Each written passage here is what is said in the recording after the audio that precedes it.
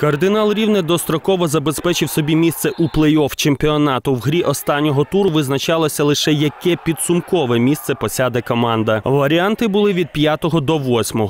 На гру з монолітом в якості виконуючого обов'язки головного тренера рівнян вивів Олександр Бондар. Він же першим подав приклад партнерам, як треба грати, забивши гол вже на четвертій хвилині. Мінімальний рахунок тримався майже до завершення першого тайму, але перед перервою спершу невдало зіграв воротар харків'ян Дмитро Бутов після удару Сергія Кравчука. А коли секундна стрілка робила останній оберт, спершу Артем Головень відквитав один м'яч, а за 7 секунд до свистка на перерву Анатолій Міленький забив гол у роздягальню.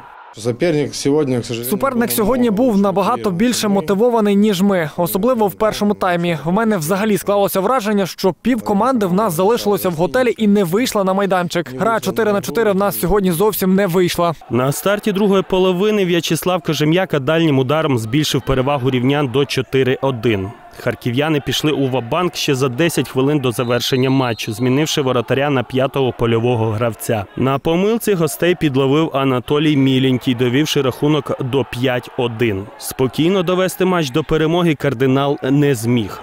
Двічі Денис Овсяніков, а потім і Владислав Васильєв за 20 секунд до завершення гри скоротили відставання до мінімуму. Крапку в матчі поставив воротар рівнян Ілля Бакінський, який з фінальною сиреною забив гол дальнім ударом від власного штрафного майданчика. Перемога кардиналу 6-4. Я маю надію, що е, ця переможна е, серія продовжиться і надалі. І ми будемо показувати таку хорошу гру і будемо в кожному матчі виходити і битися один за одного. Тому що справді кардинал, можливо, не має таких висококласних гравців, як інші команди, але за рахунок характеру, за рахунок бажання ми маємо показувати, що всі команди, які будуть сюди приїжджати, що їм тут легко не буде.